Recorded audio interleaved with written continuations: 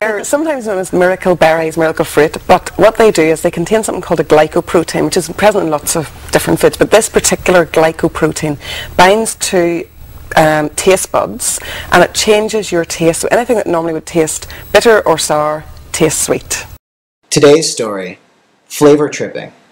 A group of young hipsters find a distraction from the monotony of post college life after a plethora of blog posts popped up last month about the effects of miracle fruit a small berry native to West Africa that supposedly makes sour foods taste sweet.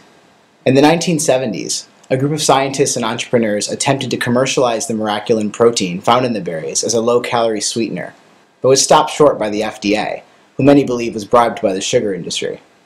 The craze never began, and the berry remained under the radar until May 28, 2008, when the New York Times covered a flavor tripping party in Brooklyn and turned the heads of an internet savvy, thrill seeking generation, like these 10 20 somethings in Chicago, Illinois. The premise of the party is simple every guest brings a different food item with enough for everybody to share. But as the miracle tablets are passed around, it looks less like your mother's potluck and more like a cult meeting. Honestly, I felt like Jack from Jack and the Beanstalk. That buying these beans online was only the beginning. The next thing I'd be doing would be buying bottled pheromones off QVC at 2 in the morning, or like gasoline additive, or robot insurance. I thought I was making a huge mistake.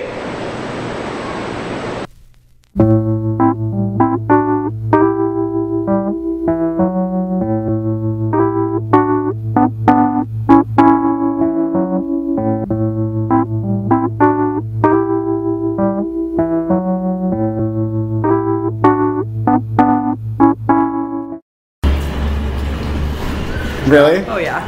Wow. mm. It's sweeter. It's definitely sweeter. Yeah. Delicious. It tastes sugar. It does taste sugar. This is the lemon. Mm. The lemon sampling. Oh, it's like man. lemonade. It's absolutely gorgeous. Awesome. Oh, oh this, this is like the steroid. This is like lemons you can eat like candy.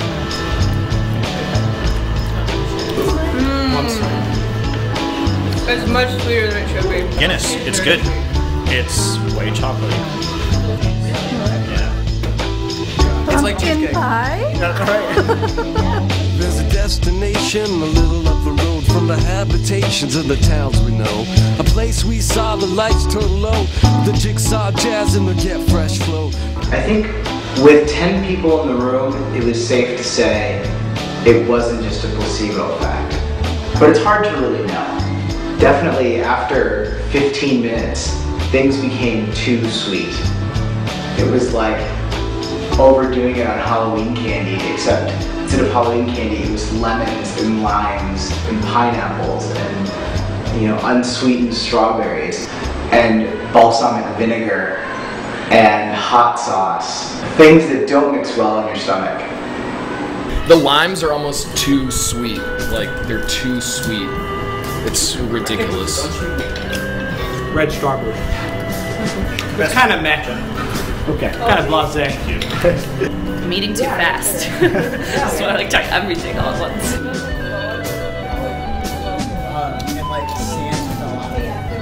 It was hard to tell whether or not the effects of the berries just wore off or whether we just lost interest.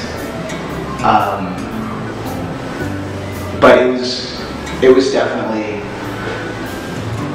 it was definitely the most one of the most unique experiences I've ever had. When life hands you lemons, get miracle fruit.